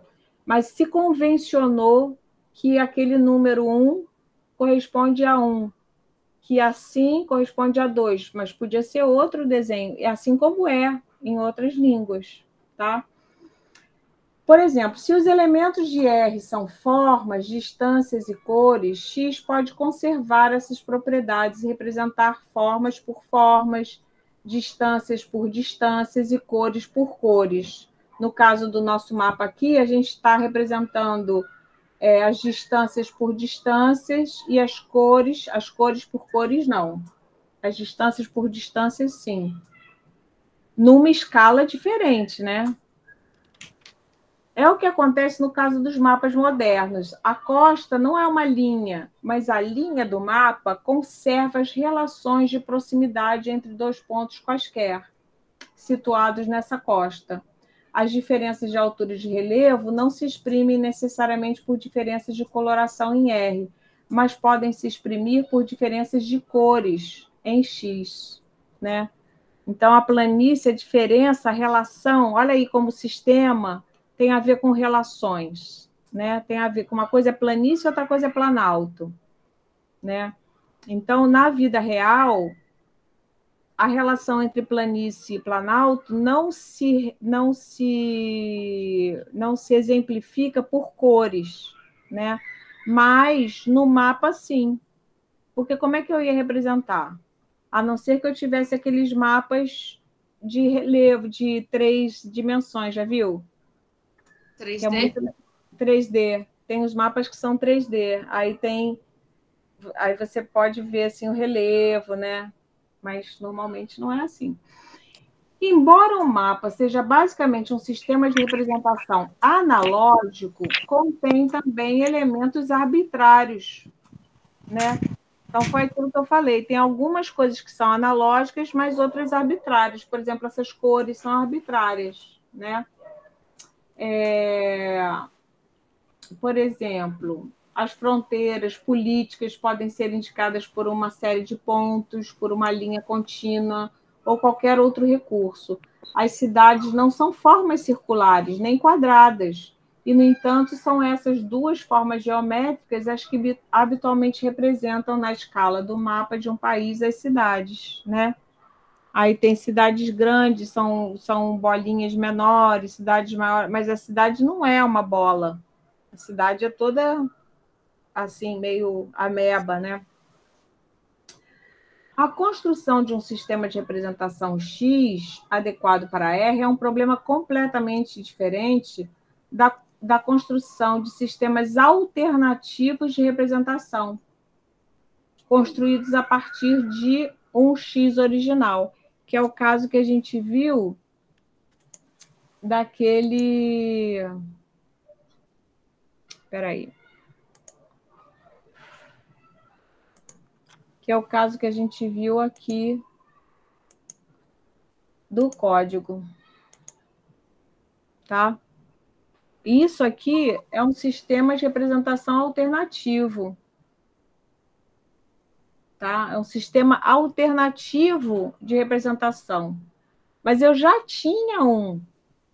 Aí é fácil. Daqui eu posso fazer mais outro, e mais outro, e mais outro, quantos eu quiser.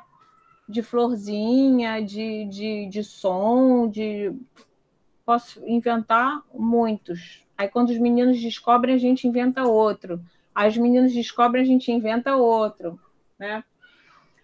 É, é, reservamos a expressão codificar para a construção desses sistemas alternativos. A transcrição das letras do alfabeto em código telegráfico, a transcrição dos dígitos em código binário computacional, a produção de códigos secretos para uso militar, etc., são todos exemplos de construção de códigos de transcrição alternativa baseados em uma representação já constituída, que é o sistema alfabético para a linguagem ou o sistema ideográfico para os números. Tá? Eu acho que a gente pode parar por aqui. Cansou já, não? Pode ser, mas eu queria falar de, de algo que está na, tá na página 19, hum. que ela coloca assim, no, no final, né, no último parágrafo. Peraí, deixa eu pegar aqui. Ah as consequências? Isso.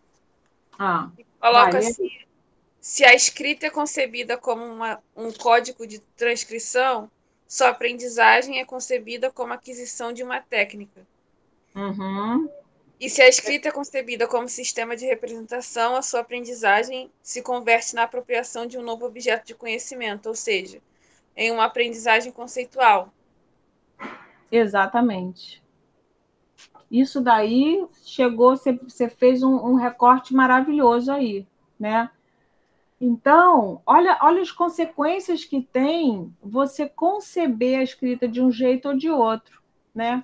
Porque se é um código, gente, é muito fácil ensinar um código para outra pessoa. É uma, é uma técnica, né? Se aprende código Morse, três bolinhas, sei que, uma, uma, uma, uma tapinha, outra mais rápido. É uma técnica, você decora aquilo e está resolvido. Mas é, o sistema de representação escrita é muito mais complexo do que um código. Então, você precisa usar a cabeça. A criança precisa pensar sobre aquilo. Não adianta, não, não adianta. Você vai fazer vários métodos, ela não vai conseguir. Ela pode até decorar o som das letras, mas ela não vai conseguir entender a lógica desse sistema de representação, né? Porque ela não consegue é, compreender conceitualmente as relações entre os elementos desse sistema. Então, um sistema é isso, né? É a relação entre os elementos, tá? Aí depois, no segundo na segunda sessão, ela vai falar exatamente das concepções das crianças a respeito do sistema da escrita, né? Através das escritas de produção espontânea. Então, tem essa coisa do valor, é, os indicadores mais claros de explorações que as crianças realizam para compreender a natureza da escrita são suas produções espontâneas, entendendo como tal as que não são resultado de uma cópia imediatamente posterior. O que, que é cópia? É tudo aquilo que é feito a partir de um modelo, né? Então, se eu escrevo a palavra gato no quadro, a criança tem esse modelo, ela pode copiar porque ela tem um modelo. Mas se eu não tenho modelo nenhum e falo, escreve gato, de onde é que ela vai tirar? Das hipóteses que ela tem. E aí, a partir dessa produção que ela fizer, a gente pode entender qual é a hipótese que ela está tendo. E não se trata de deixar ela escrever do jeito que ela quer, ter liberdade. Não, claro que não. Ela vai ter que aprender as regras do sistema alfabético. E vai chegar um momento que ela vai ter que entender as regras ortográficas e as regras de pontuação e tudo isso, né? Mas, para eu intervir como professor no processo de, de, conhecimento dessa criança, desse objeto de conhecimento que é o sistema de escrita alfabético, né, eu preciso entender qual é a hipótese dela para fazer interferência. Entendeu? Então, se eu estou vendo que ela está, por exemplo, com a hipótese de que é, a escrita representa a coisa e não a fala, e não a linguagem oral, né? Uma boa coisa, por exemplo, é botar ela diante de um livrinho que tem a figura do boi escrito boi embaixo. E a escrita de uma formiga, desenho de uma formiguinha e escrito formiga embaixo. Aí ela vai pirar, né? Ela vai falar, gente. Aí você, hum, então, como é que fica então? Aí a criança volta a fazer xixi na cama, porque fica, meu Deus do céu, estava tudo tão bem, né? fiquei desequilibrada agora, socorro. É verdade, acontece isso mesmo, porque é um problema cada vez que você desequilibra uma hipótese, né? Entendeu? Então você vai vai fazendo. Quando uma criança escreve tal como acredita que poderia ou deveria escrever certo conjunto de palavras, está nos oferecendo um valiosíssimo documento que necessita ser interpretado para poder ser avaliado. Né? Então, assim, na formação dos, dos alfabetizadores, a gente deveria formar pessoas capazes de interpretar o que que está por trás, o que, que a criança está pensando quando ela está escrevendo tal coisa. Então, por exemplo, quando a minha filha é, escrevia sistema sem, sem esse S, né? Os professores normalmente falam assim: ah, tá comendo letra.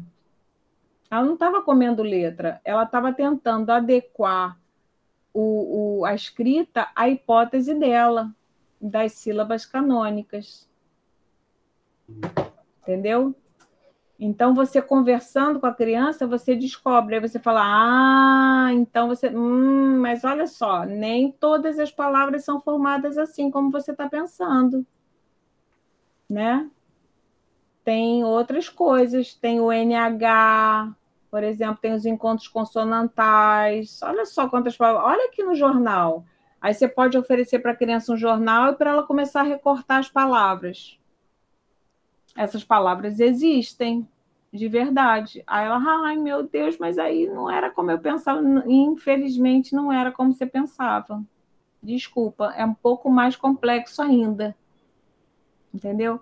Imagina, por exemplo, uma coisa que eu fazia quando eu dava aula de, dessa disciplina era fazer uma brincadeira que eu acho que já está fora de moda, mas é uma brincadeira muito legal que é o seguinte: você combina, não sei se você já brincou disso, não me lembro como é que é o nome da brincadeira, mas a brincadeira é assim: tem um grupo que está numa sala, uma pessoa sai da sala, e aí a gente fica em roda e a gente combina o seguinte: é, a pessoa vai ter que descobrir, por exemplo, como é que ela vai na festa, né? A pessoa vai chegar na, no, no, grupo e vai perguntar como é que eu vou na festa do céu, por exemplo, né? Como é que eu, como é que eu entro na festa do céu? Aí ela vai ter que descobrir qual é a regra. A gente combina a regra sem ela saber. Aí a gente diz, por exemplo, a gente vai combinar que a gente entra na festa do céu com qualquer coisa que tenha a letra do nosso nome, tá? Aí a pessoa vai perguntar, Maria Eduarda, como é que você vai para a festa do céu? Aí a Maria Eduarda fala assim, ah, eu vou maravilhosamente. E Andréia, ah, eu não vou maravilhosamente, não, eu vou adoravelmente. Ué, você vai adoravelmente, mas a Maria Eduarda vai maravilhosamente, mas a pessoa não sabe a regra, porque ela não. A gente não combinou com ela. E aí ela vai fazendo perguntas para descobrir a regra. Já brincou disso? Não. É muito legal. É muito legal essa brincadeira. E é mais ou menos isso que acontece, né? Então, em qualquer processo de aprendizagem, a criança vai. Ela sabe que tem uma regra ali que ela não conhece. No Meeting tem umas regras que eu não conheço. No Instagram tem umas regras que eu não conheço. No Word, não sei o quê. Tem um monte de lugar que tem regra. E a gente está sempre tentando aprender as coisas, né? E a gente vai fazendo o quê? Vai perguntando, ou vai testando, e vai quebrando a cara, aí vai, não é assim, hum, então não é assim, Aí você, aí você fala que vai maravilhosamente, eu digo que vou adoravelmente, aí a pessoa se chama Regina. Aí ela vai dizer assim: ah, então eu vou docemente, né? Porque ela pensou na regra, todo mundo vai bem, né? Uma vai maravilhosamente, outra vai adoravelmente, ah, então eu vou docemente. Faria sentido, né? Dentro da hipótese dela. Aí a gente diz: não, você não vai docemente mas o Danilo vai docemente. Aí falei, pô, como assim? Por que, que o Danilo pode ir docemente e eu não posso ir docemente? Entendeu? Entendi. Então é um negócio complexo, tá? Então vamos dar uma paradinha aqui. Acho que aí você já vai conseguindo ler melhor, vai aprendendo melhor aqui, né? Mas eu acho, Maria Eduarda, que talvez, não sei se vai precisar você ler Emília Ferreiro, sinceramente. Eu acho que a gente podia fazer o seguinte: olha, para o próximo encontro, você vão fazer dever de casa.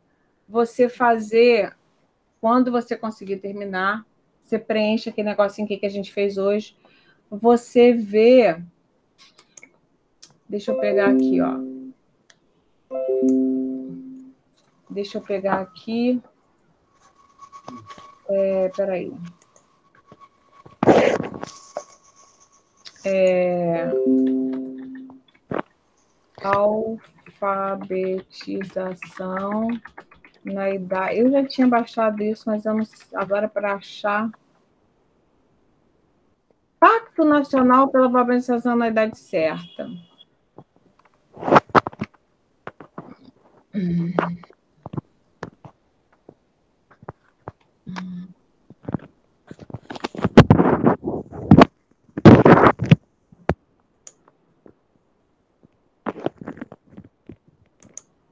Deixa eu ver aqui, peraí. Vamos botar assim, PDF.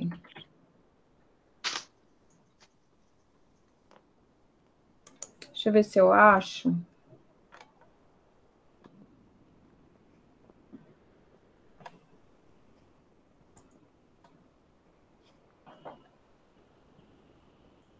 Porque eles tinham uma, uma ah, não vou achar aqui, tem que achar.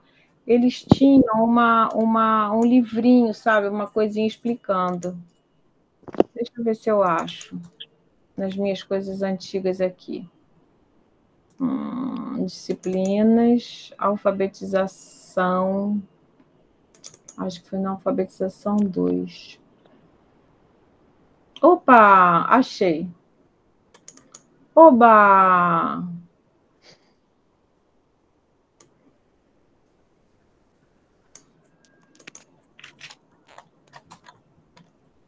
Ah, vou mandar para você. O Brasil do futuro com o começo que ele merece. Aí volta e meia eles fazem um negócio desse, depois não adianta nada e inventa outro.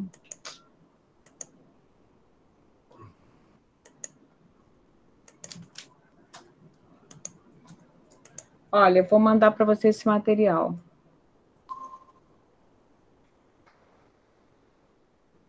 Eu acho que você podia dar uma olhada nisso aqui, ó. Toda criança alfabetizada até os oito anos de idade, ó, apresentação. Eu acho que você podia ler isso aqui. O que significa estar alfabetizado? O que é o ciclo de alfabetização? Aí você vê se isso, se isso tá aqui, tá, tá dentro. Acho que você tem que estudar isso aqui, entendeu? Entendi. Eu acho isso. Mas foi bom, assim, ter um pouquinho um princípio. É, tá bem fácil isso aqui, tá? Eu vou mandar para você. Tá bom. Aí é para mim estudar tudo. É, acho que sim. Dá uma, dá uma lida, dá uma olhada e, e tenta já ir refazendo o projeto aos pouquinhos, porque assim, o objetivo desse, desse período é você fazer tutoria. É você fazer o, o projeto. Para fazer o projeto, você tem que entender um pouco a história. Então, eu estou te sugerindo isso, que você pegue o, o pacto da alfabetização, esse Pacto Nacional para a Alfabetização da Idade Certa, entender um pouco dele, a história dele, quem foi que surgiu, como surgiu. Isso sim vai. Agora, você não vai contar a história da alfabetização do Brasil inteiro, entendeu? Você vai contar a história do Pacto Nacional pela Alfabetização. E aí você já vai melhorando a justificativa, já vai contando isso, já vai botando a, a, a bibliografia, os textos que você vai lendo sobre isso. Tá bom? Entendi. Tá? Aí eu vou mandar aqui para você e, e, e, pronto. Já. Aí quando você tiver alguma coisa mais, aí você manda para mim. Tá? Eu, eu hoje vou te devolver o seu projeto já com umas anotações das coisas que a gente conversou, tá? Tá bom. Então tá bom, mocinha. Então um beijo. Alguma pergunta beijo. mais? Não. Não, não, só isso por enquanto. Tá bom, beijão. Tá bom, tchau. obrigada, tchau. Beijo.